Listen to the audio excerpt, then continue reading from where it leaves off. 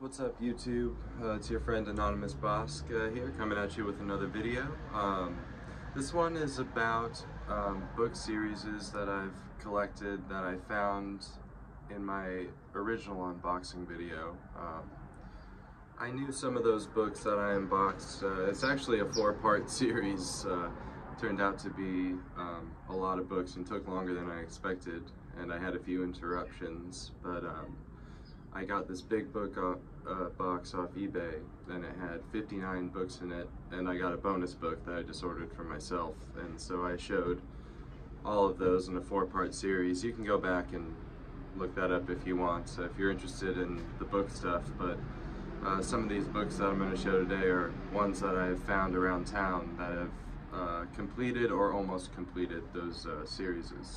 Um, but first, uh, before I get into the video, uh, I just want to give a shout out to my band Mutates, um, M-U-T-A-T-E-S, Mutates. Uh, we just released a new album, it's called Noetic Dernada. It came out maybe like a week or so ago and um, yeah, I'm really excited about it. Uh, we incorporated some different styles uh, than what we've done before, and um, I'm really excited about this one. And one of the uh, songs on the album is called You Know It To Be True, and I also have a video of that song on my YouTube, and uh, the video is not the studio version of the song, it's actually a live performance that I did that was on top of a rock um, at my uh, roommate, friend, and landlord's other property in Ramona, California, which is kind of nearby here to San Diego. So we went out there and um, I played the song, got the audio from one shot that was shooting up uh, at me, and that got the audio really good, and we used a little bit of that throughout the video. And then my uh, friend, uh, he filmed all the rest of it and I just kind of walked around. He has a really nice little property out there and some some land and acreage and it's it's really pretty and nice and quiet out there and uh, I did a video for You Know It To Be True which is one of the songs on our new Mutates record Noetic Der Nada. So yeah, you can check that out on Bandcamp. You can check it out right here on YouTube Music or on Spotify and other streaming uh, platforms. So yeah, go check that out. Mutates Noetic Der Nada. Okay, now let's go ahead and uh, get into the video. So one of the books that I got in my uh, in my box was this one, Leigh Brackett, The Hounds of Skaith. And I was really interested in this cover. In the back too. I was gushing over it in the video and um, I still I believe it's a beautiful cover. So I went out and I found these. I found the Ginger Star. And spoiler alert, I've read the Ginger Star already because I was really excited to get into this and I'm actually later on going to talk about a few books that I've read um, from the box. Um, so I'm going to put, here goes the Ginger Star. This is the first book in the uh, Book of Skaith, which is a three book uh, series. And this one came out in 1974. So this, this first one came out in 1974, Ginger Star. And then the second book is Hounds of Skaith, which you've seen.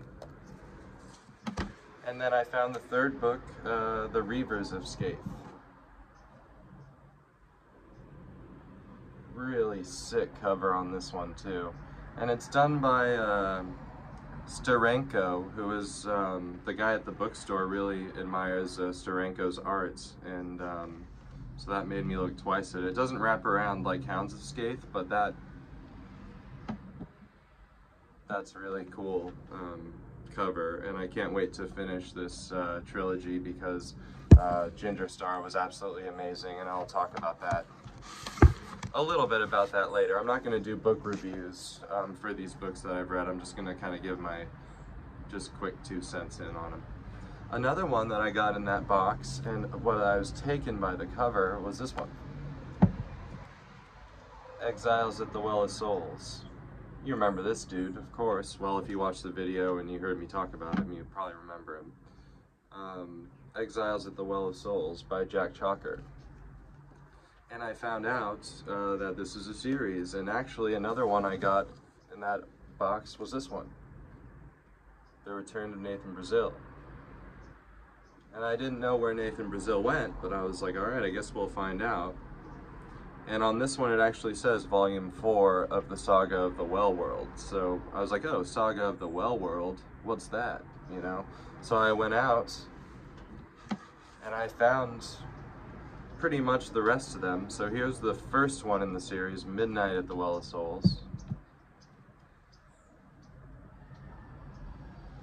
Midnight at the Well of Souls, and this came, when did this come out? This came out in 1977, this one, so that's around when the series kind of started coming out. So there's Midnight at the Well of Souls. The second book, I believe, is Exiles. The third book is Quest for the Well of Souls. Look at that cover, man. Quest for the Well, of Souls. The fourth one is Nathan Brazil.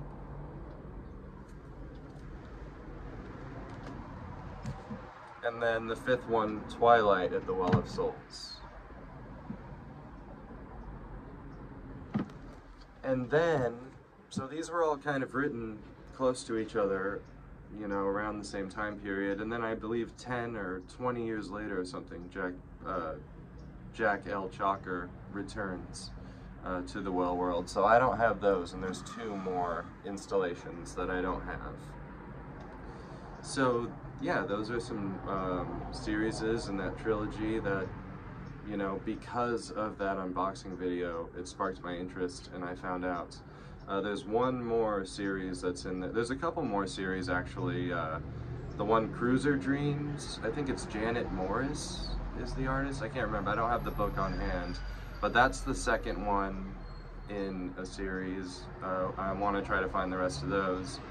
And um, correct me if I'm wrong on that author, or that book. I could be wrong on the name, um, but I believe it is called Cruiser Dreams, and it had a really cool cover. And then there's the Green Star, uh, the Green Star series. I got the fifth one and the last one, and um, so I want to go out and try to find those. It was a DAW book, and it was really cool. Um, okay, so now I'll go ahead and move along. Um, I've been, of course, getting more books, always more books. They're so cheap and they're so cool, and um, so I'll show you some some other ones that I've uh, collected. Let's start with uh, Andre Norton. Andre Norton, Moon Mirror. I really like really like this cover. And Andre Norton is an, an author I don't have any of her stuff. Um, this one also has zero on the number line, so it was a first print, but it's still real pretty new. It's a Tor, Tor book, 1989. But it really feels even newer than that. I mean, it's really like not even been touched. This is a nice copy of Moon Mirror.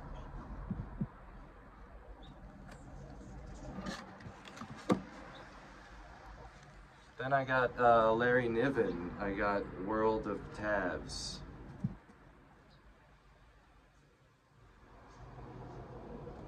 So they had two versions of this where I went and I chose this one. I really, really liked this cover. Um, this is a Ballantine book. And uh, this printing is from 1971 but this was originally from 1966. Larry Niven, World of Pass, the Ptavvs. Oh, and I found a uh, Philip K. Dick Radio Free Albemuth. A Philip K. Dick old school uh, paperback. I was I was stoked to find that. You know, I haven't heard of this one before, but I do love uh, Philip K. Dick. And this is an Avon book, and it's got three on the number line. Uh, it was printed in 87, copyright 1985, by the estate of Philip K. Dick. So maybe this didn't come out before, but the estate of Philip K. Dick uh, copyrighted this in 1985. So I'm excited to get into it. I really I enjoy Philip K. Dick, so he's a great writer. Next we have uh, from a classic author, Edgar Rice Burroughs, The Moon Maid. This one's smaller. It's a little shorter, you know, height-wise than some of the other ones. It's an ace science fiction book. It was 40 cents originally, so this is an old school one.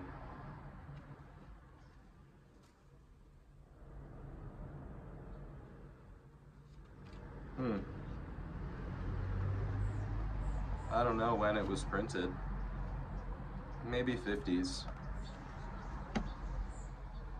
The Moon Maid. And we got Ray Bradbury, Fahrenheit 451. Man, he's really torching it. This guy. Oh, this was a pretty cool, it's a Del Rey edition. I do enjoy the Del Rey books. Um, their covers and they're fun, they're good to read. Copyright 1953. This is from 1976, so this is a middle 70s version of Fahrenheit 451. I haven't read it. Uh, the only Bradbury I've read is Martian Chronicles. I really liked that one. And uh, I really need to read more of his stuff. I just, you know, haven't uh, haven't gotten around to it yet. But uh, this one's really interesting. This is uh, Treasure Island.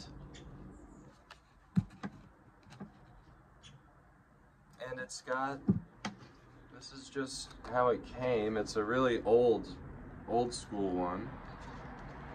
And I don't think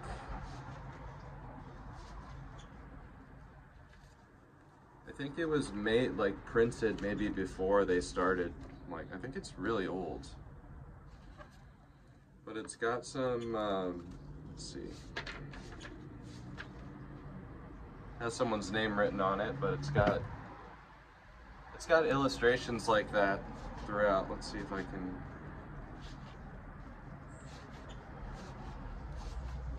Here goes one right here. But yeah, I really like Treasure Island. I read it a while ago, and um, Robert Louis Stevenson. Companion Library is what it says on it. So I was happy to find, I mean, older the better, I always say, you know. Next, we got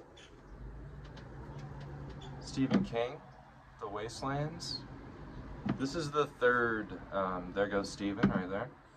This is the third uh, book in the Dark Tower uh, series. I've only read Gunslinger so far. I really liked it, and um, and then the next, uh, you know, pretty soon after I got Gunslinger, I went and got um, Drawing of the Three, which is the second book, and now I have this one, uh, The Wastelands.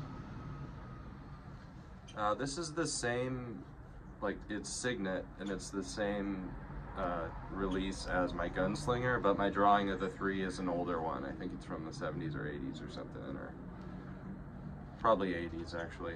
But yeah, the Wastelands. Um, that one's pretty big, but I think the type is, oh yeah, the type is enormous. So, all right.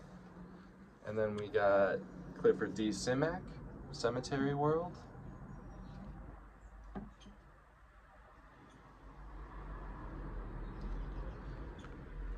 I haven't read uh, Simak yet, um, but I can't can't wait to start. And this is a DAW book. Um, yeah, I mean, the cover is incredible, and it was really cheap. It's got a one on the number line, and uh, the DAW printing from 1983, and the copyright is 1972. Cemetery World.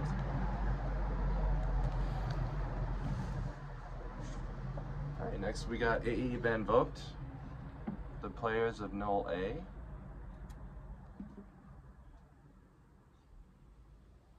really like this cover and that purple on the back too. Um, yeah, I've been wanting to get into this one. This is a Berkley uh, edition. Let's see, it's a little. It was also cheap. It's a little uh, kind of crusty, but it's. Let's check it out. So the copyright's 1948, so it's an old school story. And this uh, Berkley Medallion edition, it's the fifth printing from 1974. Players of Null A. I want to read more of his stuff. I've read Slan, and I really enjoyed that. Um, these next two I got at the Goodwill. Um, all those other ones I got at bookstores, but this these two I got at the Goodwill uh, for a dollar a piece. And so the first one we got Animal Farm, George Orwell. This is just a classic story. Um, I read it um, semi recently, and um, I really enjoyed it. 1964 is this printing. It's the 16th printing, and the copyright's 1946. George Orwell, Animal Farm, Signet. And the last one I got for you is actually not science fiction, it's uh, philosophy, and it's uh, Albert Camus, The Myth of Sisyphus.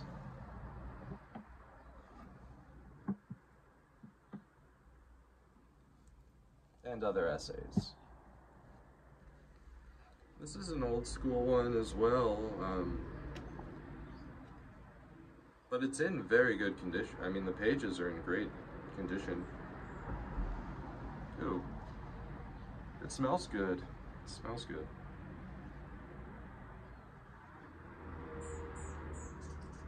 The copyright on this is 1955.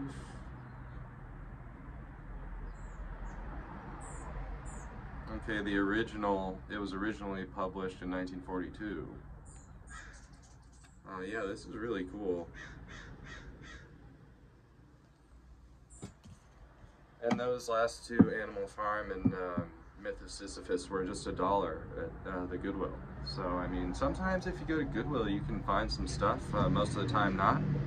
But uh, it doesn't, doesn't hurt to go check. Uh, I look at Goodwill also for records, and uh, you got to sit on the floor uh, most of the time, at least whatever Goodwill I go to, and you just kind of sift through all of the crap and eventually like I found a really cool I found a few really cool ones there. You just gotta really sift through some stuff uh, same with the books you know.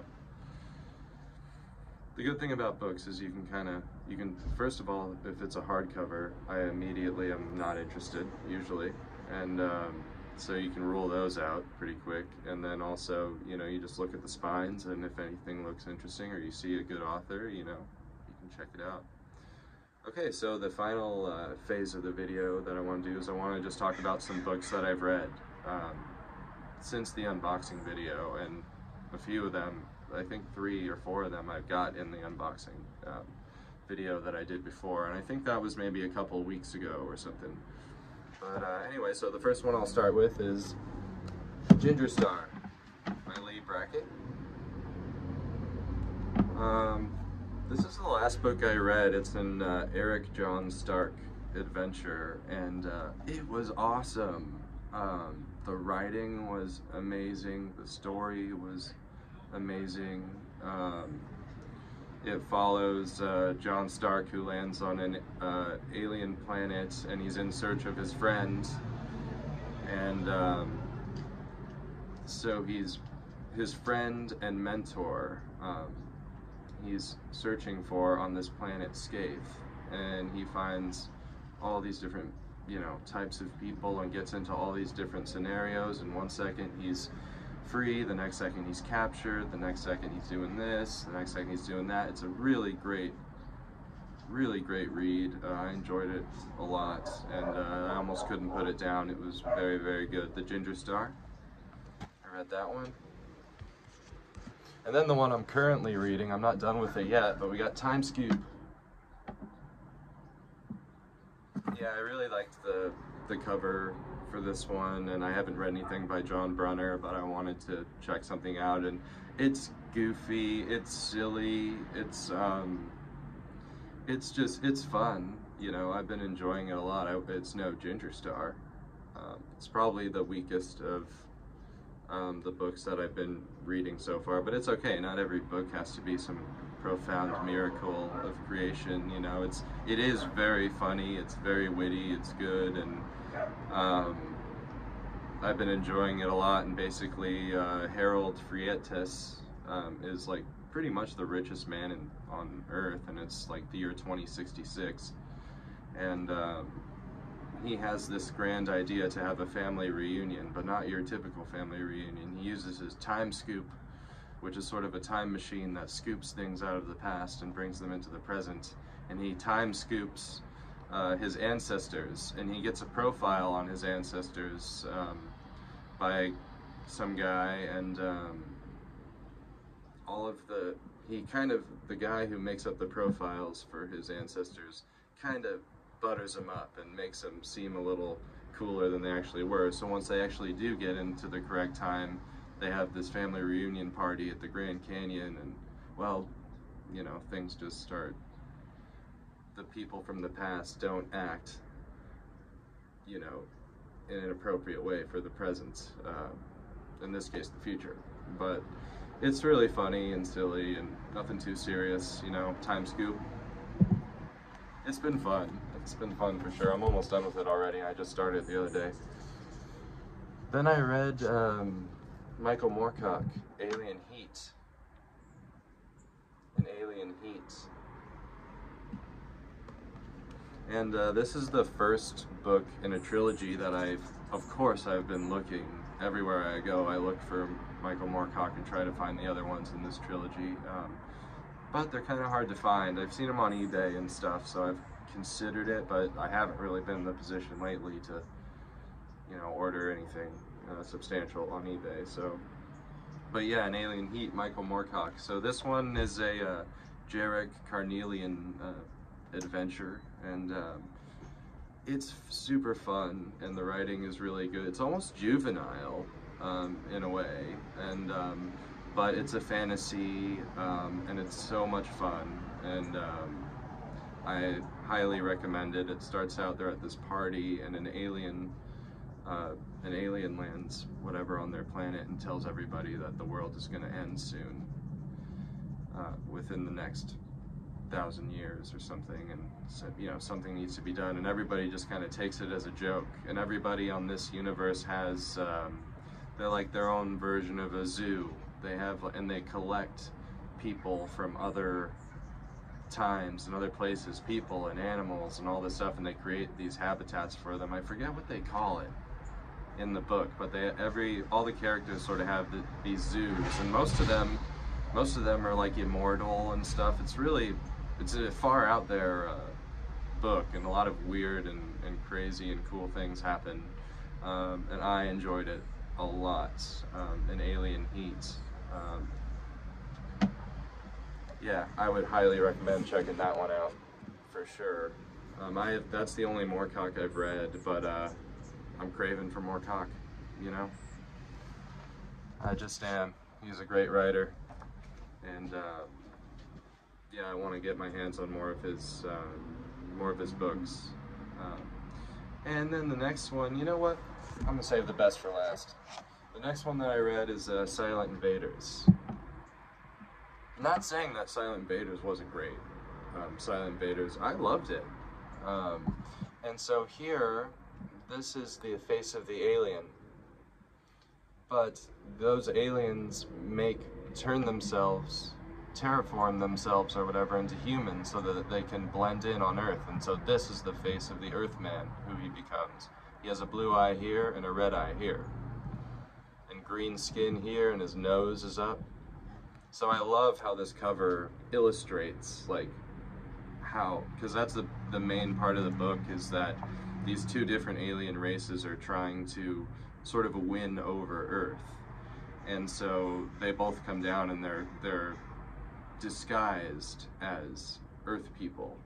And so the main character, he's like religiously devoted to his alien people and he's sent on this mission to Earth to go try to, you know, win it, win it over or win over its favor, because Earth is a major player in the in the galaxy in this universe here, and so he comes down and his he meets this woman who, um, you know, he really likes, and there's, you know, come to find out pretty early on in the book that the woman is part of the alien race, the other alien race from another planet who his his people despise. They're like mortal enemies or, you know, alien enemies. And um, so the whole book is about his mission and how things go sort of awry. awry. And um, we also find out that there's these there's Earth people who are like super specimens who, um, you know, it's like the the regular Earth human, but like completely evolved, like superhumans, ubermensch people who are actually more powerful than any of them. And uh, the so the opposing alien race of the main character is sort of like in cahoots with the Earthmen and it's an interesting story. It was pretty cool. It's had a lot of action and you know, it was it was pretty good. All right.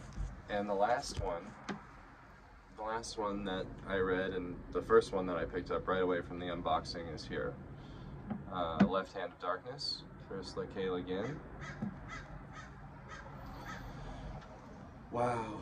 Um, I absolutely loved Left Hand of Darkness. I consider it probably one of the best books I've ever read. It was absolutely amazing. It was more sci-fi than, or sorry, it was more fantasy than sci-fi, but there were, were still heavy sci-fi elements and it took place on an alien planet with aliens and you learn that they are neither male or female.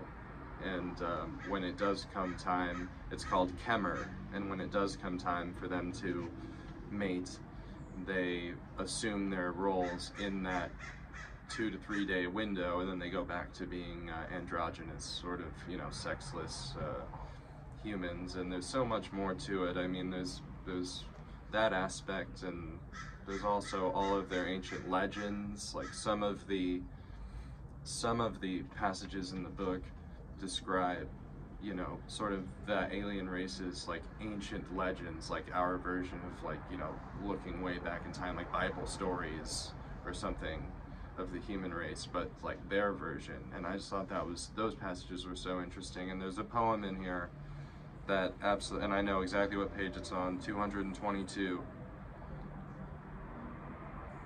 And it's, it really the prose, the writing in this book is absolutely stunning. It's phenomenal. Uh, the storytelling, the world building, and it's not even that long of a book. And even still, it's like it packs a lot into a little package. And uh, Ursula K. Le Guin, I mean, this is the second book I've read from her. The first one was Wizard of Earthsea, and I really want to continue reading her stuff. I think she's uh, brilliant. And um, so this, I want to read you this this part. Um, it's a poem. And it goes, Light is the left hand of darkness, and darkness the right hand of light. Two are one, life and death, lying together like lovers in Kemmer, like hands joined together, like the end and the way. So that poem right there, I mean, that really got me and um, there was so much already before, but by the time I got to page 222 and I was reading that, um, yeah, it just spoke to me, um, and it was, yeah, this book, I highly recommend this book, uh, Left-Handed Darkness, Ursula K. Le Guin.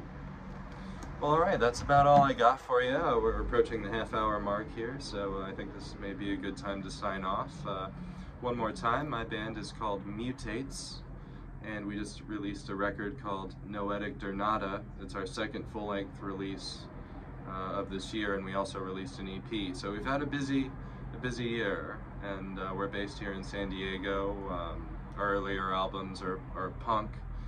The newer album is explores kind of a new direction. And um, anyways, well, I hope you guys all enjoyed the video, and um, yeah, keep it real. See ya.